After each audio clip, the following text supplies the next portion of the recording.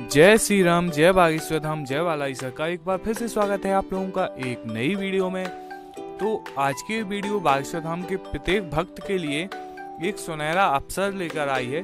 जी हाँ यदि आप लोग बागेश्वर धाम सरकार के भक्त हैं, आप उनकी दीक्षा लेना चाहते हैं और अभी तक आपको कोई अवसर नहीं मिला है तो आप लोगों के लिए यह एक सुनहरा अवसर है।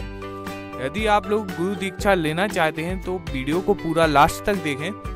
वीडियो शुरू करें, उससे पहले यदि आप लोग चैनल पर नए हैं, चैनल को सब्सक्राइब नहीं किया है तो चैनल को सब्सक्राइब कर लें, ताकि ऐसी ही बागेश्वर धाम की अपडेटिंग वीडियोस आप तक सबसे पहले पहुँचे और आप वीडियो का लाभ ले सकें। तो आइए जान लेते हैं अब क्या है पूरी जानकारी।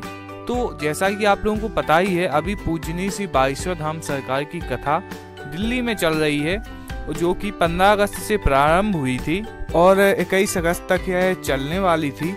तो बागेश्वर धाम सरकार की कथा में सातवें दिवस जब पूजनीय बागेश्वर धाम सरकार दिल्ली में गुरु दीक्षा का छोटा सा कार्यक्रम रखा गया था, जिसमें उनके जो यजमान थे कथा के मुख्य उन्हें गुरु दीक्षा दी जाने वाली थी। जब लोगों को पता चला तो बहुत से लोग वहाँ पर पहुँच गए और गुरु दीक्षा की पूजनीय सरकार से बोलने लगे और हमारे सरकार अपने भक्तों को कभी भी निराश नहीं करते हैं। तब उन्होंने जानकारी दी है कि जो भक्त गुरु दीक्षा नहीं ले पाए हैं, उनके लिए तीन और चार सितंबर को। जी हाँ विशेष ध्यान रखें आप दिनांक का तीन और चार को।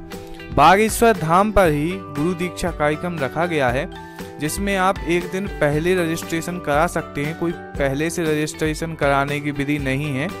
आप पहले से रजिस्ट्रेशन करा लें एक दो दिन पहले। और आराम से आप तीन और चार तारीख को, अगले महीने की तीन और चार सितंबर को आप गुरु दीक्षा ले सकते हैं अपने पूजनीय सरकार की। कैसी लगी आपको जानकारी कमेंट करके ज़रूर बताएँ। यदि आपका कोई डाउट हो इससे जुड़ा तो आप मुझसे पूछ सकते हैं। कमेंट बॉक्स में इसके अलावा आप इंस्टाग्राम पर भी मुझे मैसेज कर सकते हैं।